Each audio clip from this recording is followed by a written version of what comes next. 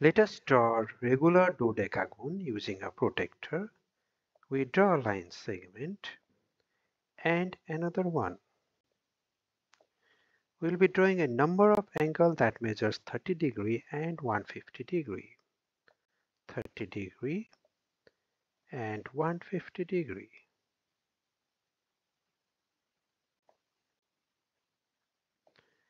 Another one that measures 30 degree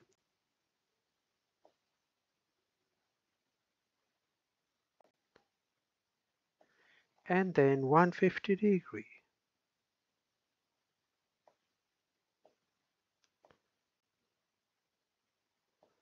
Another one that measures 30 degree and then 150 degree.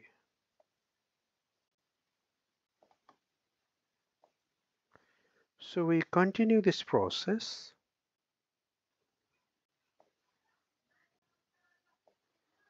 Thirty degree, another 30 degree, another one that measures 30 degree, and at last we have drawn the required number of angles.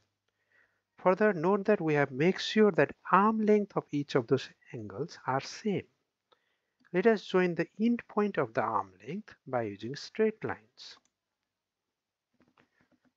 So we got a side, two side, three side, four side, five, six, seven, eight, nine,